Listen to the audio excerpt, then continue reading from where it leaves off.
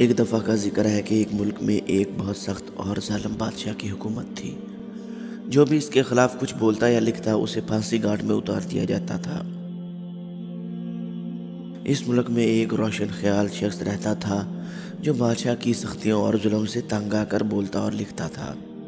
वो रोशन ख्याल आवाम को ग़ुलामी की चक्की से आज़ादी दिलाने के लिए बेदार करने की कोशिश करता रहता। वो वाहद साहिब इलम था, जो अपने इल्म की रोशनी से लोगों को बेदार करने की कोशिश करता रहता था।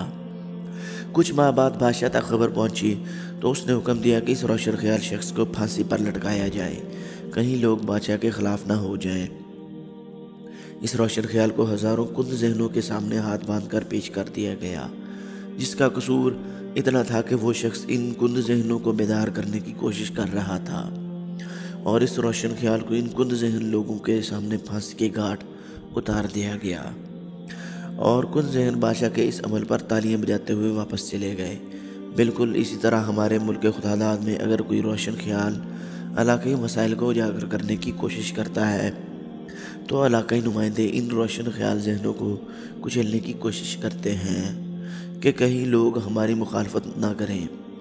तो वो कुंद जहन लोग जिनके हक और आज़ादी के लिए आवाज़ उठा जा रहा हो वो लोग इस अमल पर तालियाँ बजाते बजाते और तमाशा देखते हैं।